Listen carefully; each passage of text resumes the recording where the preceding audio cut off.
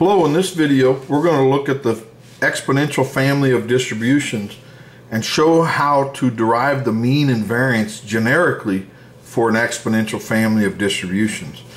Um, briefly we're going to look at the scalar when we have a scalar parameter and a variable. So let's say a sample size of 1. And if your density or probably mass function can be rep represented in this fashion where it's a function of the x's a function of your parameter, a function of your x's again, or x, you know, and this is uh, some function of your theta. Now this, and so if, if your density can be written in this form, then it's called an x, it's part of the exponential family. And where the functions th, eta, and a are all known, um, it should be noted that different forms exist and one is since this is e raised to this power, you know, this is you can you can take the product of and then have these exponentials and then call this uh, you know, a, just a function of theta. Anyway, but there's different forms, but we're going to specifically look at this form. Um, uh, theta is your parameter. The support of this distribution doesn't depend upon the parameter. So a lot of times like the continuous distribution, that depends upon your parameter. It doesn't, uh, they don't fit into this exponential family.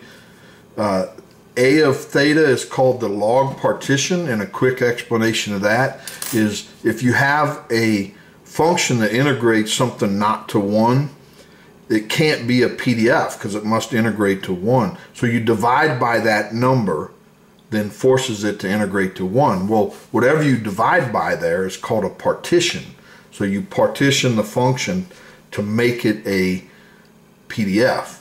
And it turns out that if you take the log of A of theta, or it might be the negative log of A of theta, then that's your partition for this exponential family.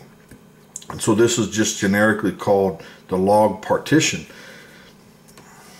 Uh, T is a sufficient statistic, and we're not going to get into what a sufficient statistic means in this video, but that's what it is. Um, and so that's it. So you have a, a scalar parameter and variable.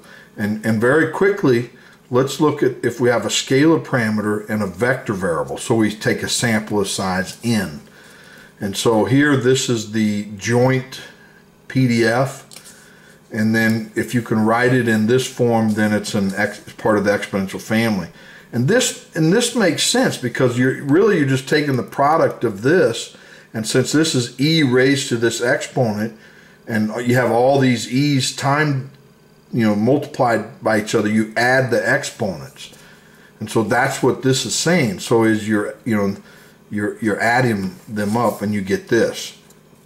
Now let's say you have a vector parameter and a vector variable, then you can write the exponential family in this form where these are vectors. So let's see if we can, yep, still on the screen. So um, say this is x is of dimension n, your parameter space is, say, dimension m, and then these vectors, eta is and t are dimension k, and then it can be written like this. So this is a vector product here.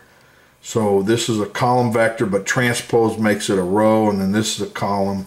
So it's like adding them up. This is your log partition.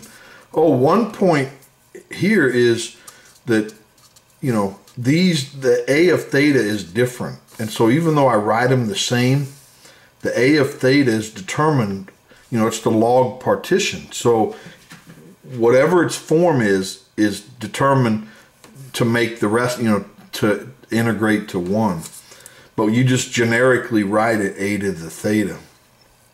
Okay, so this is pretty pretty standard stuff. The next one is is called canonical form. So we take what we just looked at and put it in a, well, we think about it in a different form. And I'm just going to write it out for vector parameter and vector variable. And because if a vector is of length 1, then it's back into the scalar. And so if we can write it in this form. So initially this was a function of the parameter. But if you think of it just as, you know, if you reparameterize it, is, and you just think of it as eta 1, eta 2, eta 3, you know, a vector, then if you can write the PDF, you know, you can transform it into this form. It's called the canonical form. Um, this is called the natural parameter.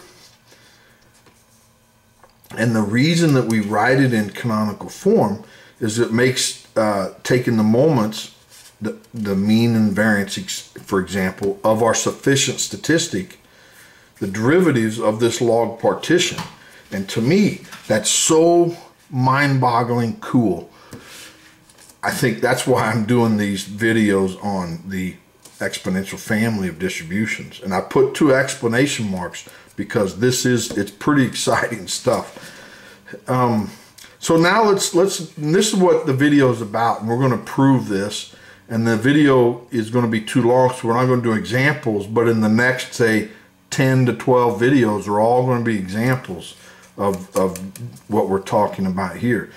So let's go through a note, a few notes before we uh, prove this. If we integrate the density, it integrates to 1. I mean, it, it has to. So then if we take the derivative of both sides, then the derivative of constant 0, and we can pass that through the integral sign in the exponential family here, and we get this. Now this is k, so it could be any derivative, the kth derivative, the first derivative, second derivative. So that implies that the integral of the first derivative is zero, right? It also implies that the second derivative is zero. Now number three, if we let L be the log of our function, so it's the log likelihood, then if we take the derivative of L, which means derivative of this, it's 1 over f times the derivative of f. And then the second derivative is the derivative of this, and you can show that it can be written in this form. Now, if we look at the expected value of the first derivative of the log likelihood, then it's this. So you take, you know, you stick in the, the first derivative, of the log likelihood, times the density, and integrate over the range of d of x. Well, the, the log likelihood was the first derivative of f over f, so those the f's cancel and we're just left with this. So by point number three, it's this, but then by point number two, that's equal to zero. And we're going to come back to this. So the, the expected value of the second derivative of the log likelihood can be written like this. Here you'll get a, you know, you get a cancellation and, and we don't know what that is, so we just leave it in this form. Well, this here, um, we said by number one equals zero. So this goes away. And then this piece just comes down. But f prime over f was the first derivative of the log likelihood. So it's just L prime. And then the squared is here. Um, well, and since the mean of the first derivative of L, log likelihood is zero, this ends up being the variance. It's, you know, and then the minus, the minus variance of the first derivative of the log likelihood. Now we're going to come back to these. So now let's look at the log likelihood and we're going to do the scalar case first. So the log likelihood is the log of the density, which then, if this is written in the canonical form, is, is this. Because this piece here is raised e to this power and the, and the log cancels with it.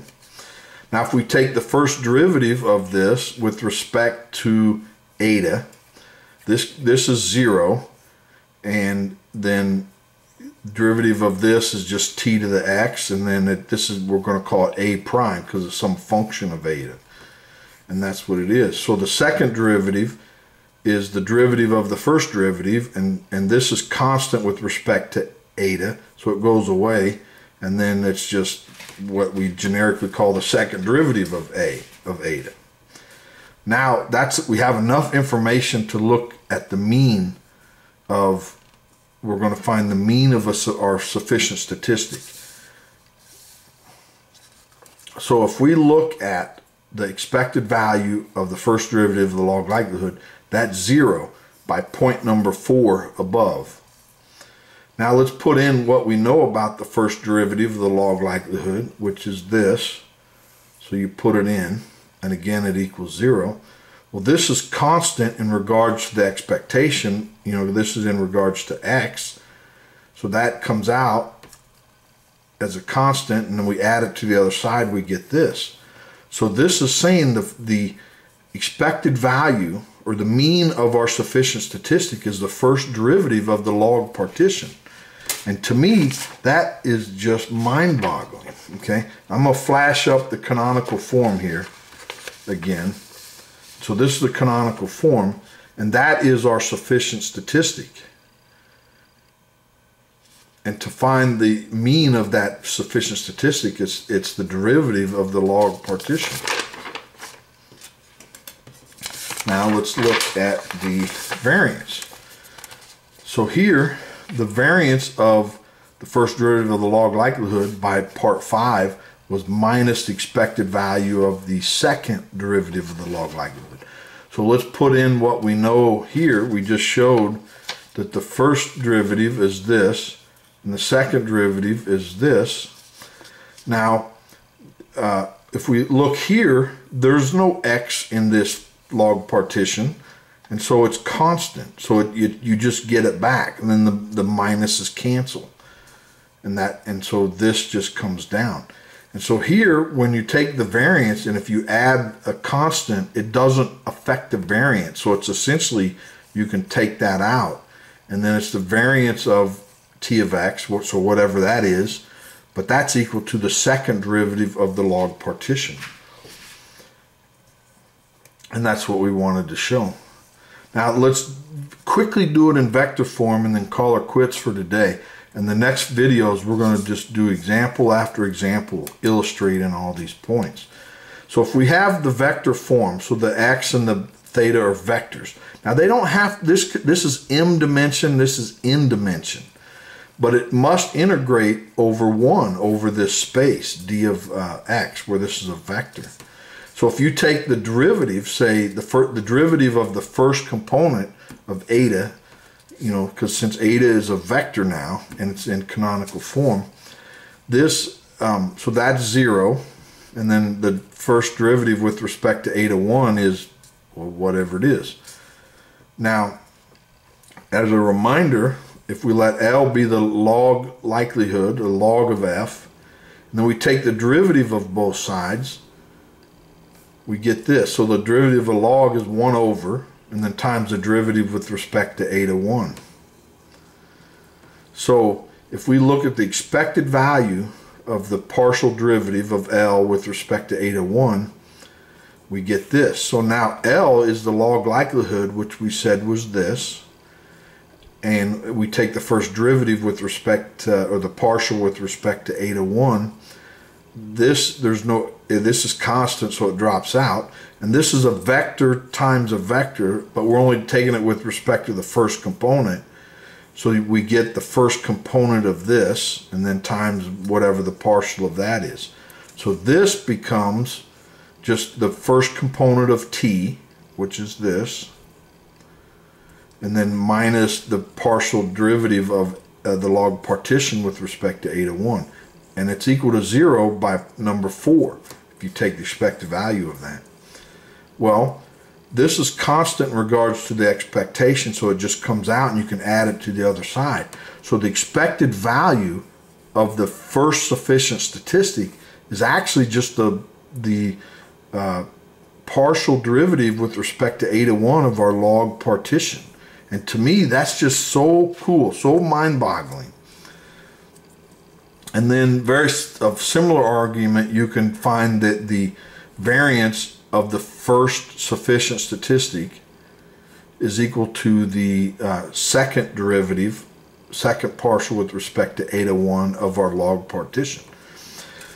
Okay, so that's all I have for today. In, in the next, uh, I don't know, five to ten videos are going to be examples illustrating all these points and uh, to me that's just so cool it makes finding the mean and the variance so much easier of these distributions actually what would be very hard in some cases ends up being very easy well if that's all I have. Uh, if you liked it or enjoyed it, like the video and subscribe so you don't miss the next one. Thanks. Bye.